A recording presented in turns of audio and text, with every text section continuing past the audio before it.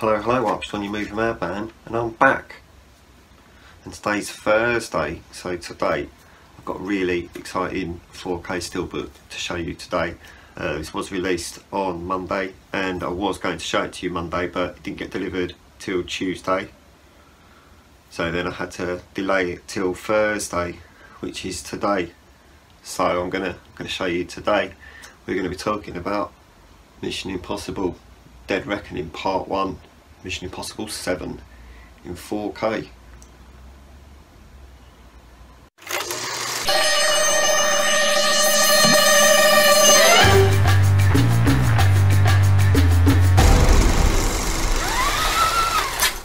Now I don't know if you've noticed but it's a really nice red and black steelbook for you there.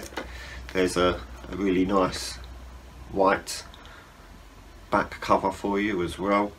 Um, this is this is Mission Impossible Dead Reckoning Part 1 aka Mission Impossible 7 uh, have got the other six as well so I am going to I'm going to show you them too so get excited about that if you haven't seen it already. But let's uh, let's get the plastic off of this and see how red this actually gets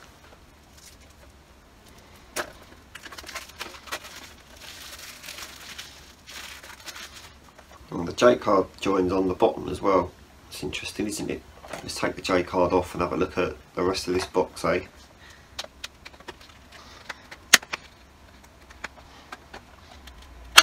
So you got a beautiful front cover there, which then turns around to that memorable moment in the film with the motorbike on the back there.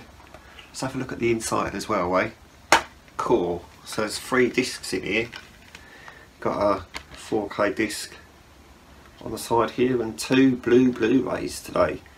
Two blue Blu-rays. So there must be so many special features that they had to put it onto two Blu-rays. That's exciting, isn't it? We'll have a look behind the discs as well. Core.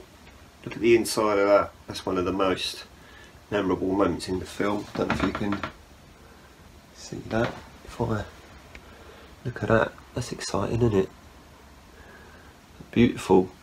Lots of red. And then on the back there as well. So red. It's beautiful, isn't it? Very secure this. Like I actually felt like I was going to break the disc just getting that out. So a little too secure, but you know, it was an impossible mission trying to get that out of the case. I'll tell you that. Well, I'm gonna I'm gonna look at this. I'm gonna watch it, put it in the player, have a look at bits on the Blu-ray, and probably watch the whole film in 4K, and then I'll be back to uh, to tell you a bit more about this film and how it looks. Alright, so stay there and I'll be right back. So, I put a jumper on because I was cold.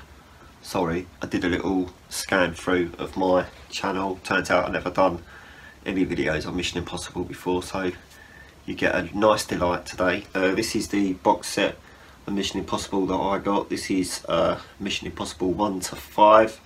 Uh, in here you've got a collection of Blu-rays and a collection of 4Ks. There you go, like that. So you've got Mission Impossible, the first one, two, three, four and five, all on Blu-ray there. So that's that's exciting, isn't it? And there's the back cover for them, just basically the details of the film.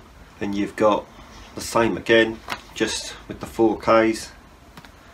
Absolutely no difference in the front cover or the back cover. Have a look at these as well, yeah? Cool, so that's interesting. You've got some blue 4Ks for a change. So you've got the first one there, and you've got two and three and four and five. That's pretty cool, isn't it? And then there's the back cover of the box set of 1 to 5.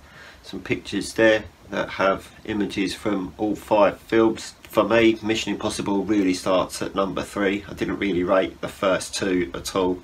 Uh, there are bits of both of the first two that are okay. But I think for me, the franchise really starts to pick up from the third one onwards. Mission Impossible 3 was the first film that J.J. Abrams directed as well and it still to this day holds the record for the most expensive film to be made by a director making his film for the first time.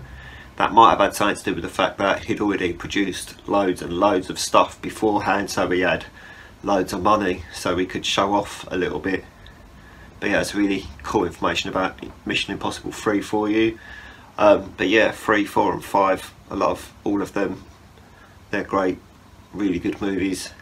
Which moves us on? To number 6 now Mission Impossible 6 for you. This is Mission Impossible Fallout. There's the back cover as well. So you've got some pictures there. That infamous jump where Tom Cruise broke his ankle as well if you didn't know about that. Let's have a look inside eh? Cool so you've got a nice nice clear disc there for the 4k and then clear discs for the double blu-ray as well didn't make the ratings stand out on these ones did they no they could have could have done that I really like it when Paramount make the ratings stand out because it looks really cool but they obviously decided not to do it with this one uh, loved Mission Impossible 6. Uh, probably the best out of all seven of the films is Mission Impossible 6. Mission Impossible 7 was still really good, but I still think the sixth one was better. The last hour of Mission Impossible 6 is just incredible. To be fair, the whole film's pretty incredible, and it does, it's really good. Yeah, and, and, on the Blu-ray there's the IMAX parts as well, so if you watch the Blu-ray or the 4K, you can see the IMAX enhanced scenes as well. I'm pretty sure when you see it on Netflix, the IMAX enhanced scenes were there too, so it's quite IMAXy for you. All six of these look really good in 4K. Obviously the older ones are a lot, there's a lot more difference between the older ones from the jump from Blu-ray to 4K. There is a big difference there. As they get newer, the jump isn't as extreme, especially when it comes to this one. And we'll talk about number seven in a minute. But yeah, all in all, all six of them just look so good in 4K. And they're really good to sit through as well, except maybe the first two. But we've, we've covered that already. So then we move on to this special case. Now, speaking of special cases, I was a little bit, I don't know how I feel about how the front of this feels. Uh, yesterday when I got this through the post I was making everyone stroke it. To be fair it felt a lot better stroking it with the plastic still on. Now I've taken the plastic off I just feel like my hand gets stuck to it. So I don't know I don't know how I feel about that. Uh, when you open it up as well. The inside here this just feels like it's going to fall off. It feels like it's going to fall apart already and I've only had it for like a day less than that. So although it is really beautiful red I'm not sure how I feel about this still but the spine here just sticks out a bit. I feel like that should be pushed in a bit more but I didn't design the case so sorry. Uh, down to the film down to the film. I tell you the film Dead Reckoning part 1 was still really good although I hear that the next one isn't going to be called Dead Reckoning part 2 they're now calling it something else as well as it's now being delayed for like a year and a half because of this actor strike. So we've got to wait for a little while now. So it's going to be interesting that. Um, I do look forward to the next one. This was still this was still a good a good film. I still enjoyed it. I liked I liked the idea of the bad guy in this one sort of you know there's parts of it where I was a bit like right okay so you're going down that road then but you know if you haven't seen it you'll find out what I mean when you see it because I don't want to I don't want to spoil it for you. So I had a little look at the Blu-ray, skipped through it, took me absolutely ages to find a scene that was set outside. So apparently there isn't a lot set outside, although I was looking for the, the car chase, but I must have missed it. It must have been in between chapters or something, but I finally found some bits that were outside and had a little look at that. Had a look at stuff inside, had a look at stuff underwater as well, because there's some underwater bits in this too, so very exciting all round.